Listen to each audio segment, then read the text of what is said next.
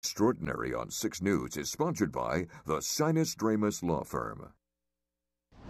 Welcome back. Each week we've been honoring an extraordinary student. This week's winner is from Bath High School. He here he is in his own words. My name is Blake Van Norman. I'm a senior. I go to Bath High School.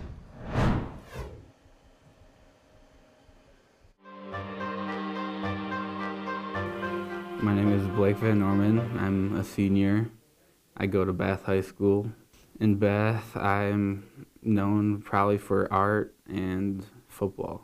My favorite medium is probably digital art right now.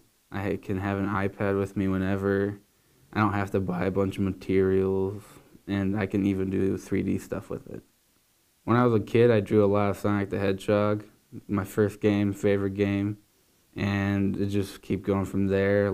Lots of creatures. I like the one I made for MSUSU a lot. That was my sister Sophie. I painted it digitally from a photo I took. I get a lot of my inspiration for my drawings, a lot from movies. For instance, How to Train Your Dragon. I, after the first movie, I went and made an entire paper box, Toothless the Dragon. My plans right now are to attend Trine and play football for him while studying DET, which is Design Engineering Tech. And that would be a little combination of design and engineering, so I can still draw and use my creative stuff on that while probably having art as a hobby. What beautiful art it was.